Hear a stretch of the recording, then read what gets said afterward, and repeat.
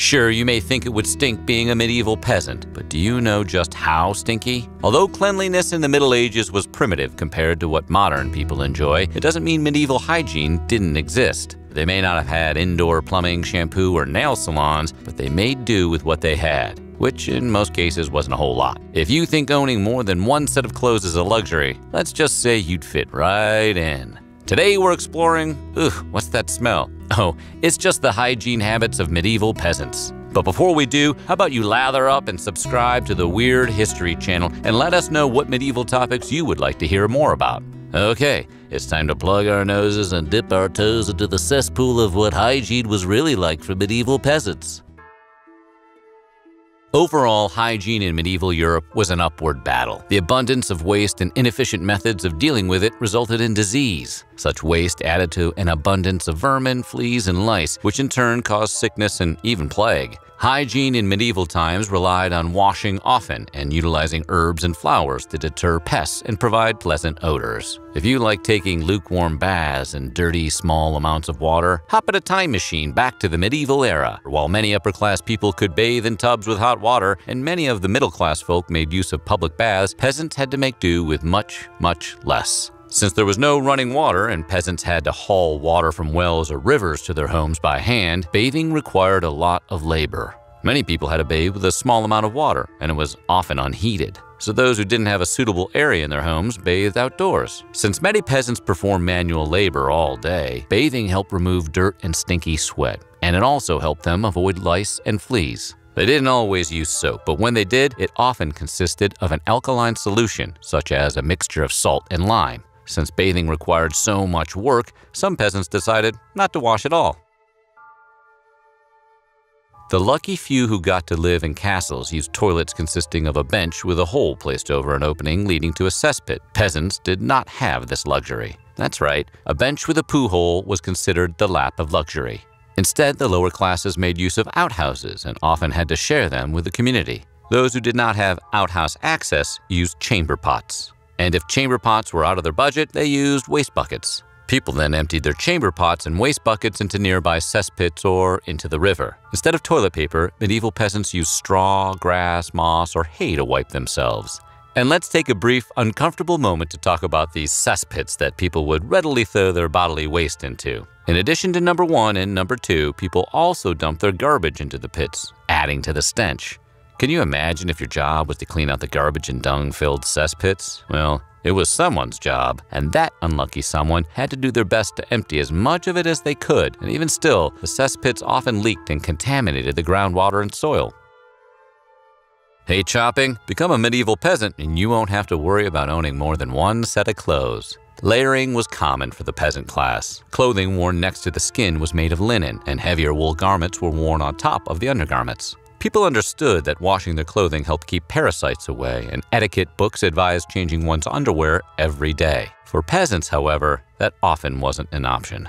If you were one of the lucky ones who could afford more than one set of clothing, you change into fresh garments once a week while washing your other clothing. Peasants who couldn't afford to send their garments to a professional laundress did their laundry themselves, washing their clothes in the river, typically with lye soap. Unfortunately, medieval rivers were often polluted with human waste, garbage, and runoff from animals' waste in the streets. For medieval people, especially peasants, dealing with fleas and lice was a fact of life. Parasites were such a problem that comb makers began adding finer teeth so users could remove dirt and lice while combing their hair. That's right, you can thank the lice-covered medieval peasants for your favorite fine-tooth comb technology. People often use their fingers to do the same job and will get together to delouse one another. As strange as it sounds, delousing groups formed a social activity for peasants. We are like bonobos. Although it was difficult, peasants in medieval times liked to keep themselves as clean as they could. Not only was keeping oneself clean a sign of pride in this culture, many considered it common etiquette. Popular etiquette especially advised people to wash their face and hands after waking up and to continue the practice of hand washing throughout the day. Even peasants could do so, as it didn't require much water, which they would have had to collect through hard labor by carrying it to their homes. Since peasants didn't have utensils and instead ate with their hands, washing hands before and after a meal was especially important. Memory foam mattresses are great, but beds made of straw are just as good, right? Beds made of straw were relatively comfortable and provided insulation for medieval peasants. Although peasants sometimes changed the straw inside their mattresses, many didn't change it frequently enough, and bugs and vermin attracted to the straw stuck around for long periods of time. Peasants with these kind of mattresses frequently suffered from bed bugs. Fleas, lice, and rats would also infest the straw. In order to combat this, people mixed scented flowers and herbs, such as mint, chamomile, and lavender, in with the straw. If they could afford it, peasants also had linen sheets and woolen blankets to cover themselves as they slept.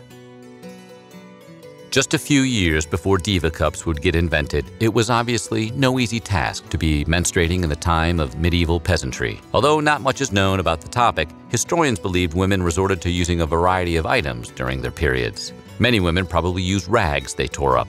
Other theories suggest some women wrapped strips of cloth around a small twig and used it as a tampon, or possibly collected absorbent moss and used it as a pad. It's also very likely some women did nothing and simply bled on their clothing. Religious authorities placed shame on menstruation, and many women felt they had to disguise it. They may have carried scented herbs or flowers with them to mask any odor. But considering medieval women didn't live long and many peasant women lived hard lives involving heavy labor and little sustenance, it's entirely possible that women had fewer periods during their short lives than women do in modern times. In the absence of toothbrushes, peasants used twigs to clean their teeth.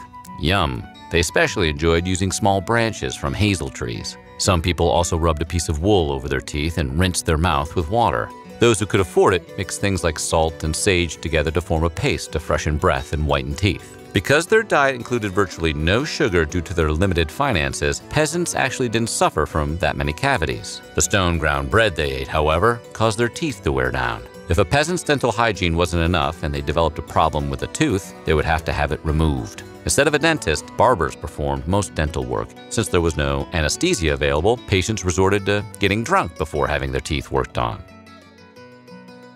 Who needs forks and knives when you can grab your dirty food with your dirty hands and chomp down on it with your dirty mouth? The diet of medieval peasants consisted mostly of what they could grow on their farms beans, grains, vegetables, and onions. Depending on how closely a peasant lived to a cesspit or contaminated water source, the soil used to grow food and the water used to prepare meals could be tainted with human or animal waste. With no refrigeration, fresh vegetables were an impossibility in winter, and the grains and root vegetables they stored could rot or become infested with vermin. Fungi could poison grains if people weren't careful, and people could suffer bouts of stomach distress, diarrhea, or other sickness due to spoiled food. Meat was a luxury many peasants couldn't afford, but if they managed to earn enough to buy some or slaughter one of their own animals, they had to dry the meat with salt, otherwise it would decay. And if the crops failed and the weather was poor, those unlucky peasants would likely starve.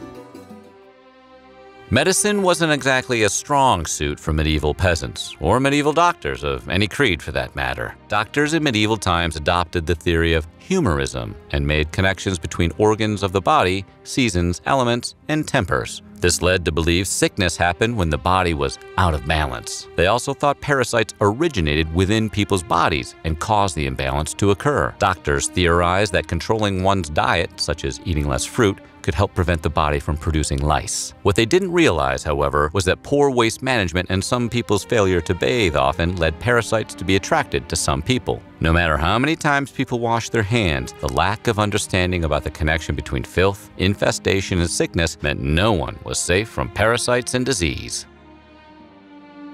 Mirrors were a luxury item and at the time were either made of lead-backed glass or polished metal, but it was difficult to see a clear image. Vanity was clearly a rich man's game during the medieval era. Mirrors were often small, so many men in medieval times went to a barber for their weekly shave. Many peasants couldn't afford to pay someone for a shave, and some didn't own mirrors, so many decided not to shave at all, making most medieval villages a total beard town. Bacteria was everywhere for medieval peasants. In fact, living with parasites was such a common occurrence in medieval times that people tried different herbal remedies to get rid of them. Some used common items peasants might find around their home, such as spreading glue on a slice of bread and sticking a candle in the middle to attract the fleas that infested people's beds. Other remedies were not effective, like getting rid of lice nits by washing hair with salt water from the sea or sniffing lavender. If the weird glue toast wouldn't work, people sometimes tried to smoke and steam to get rid of so-called toothworms and mites. They would burn chamomile seeds and inhale the smoke or hold infected limbs over steaming water. To get rid of earworms, non existent parasites that were widely believed to exist, doctors poured bitter medicine into people's ears. They also used bitter herbs to wipe out parasites elsewhere. However, the herbs caused horrible diarrhea. So basically, a total disaster. If a patient vomited or suffered a painful BM, doctors would literally think they were cursed. What do you think of the hygiene of medieval peasants? Let us know in the comments below, and while you're at it, check out some of these other videos from our weird history.